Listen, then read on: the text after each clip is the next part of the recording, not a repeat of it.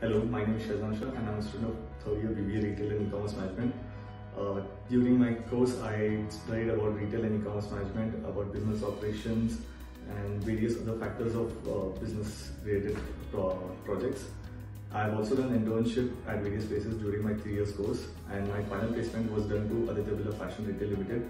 Thank you to placement department, especially to Shirley ma'am and Deepa ma'am for getting my placement done at uh, the collective. Thank you.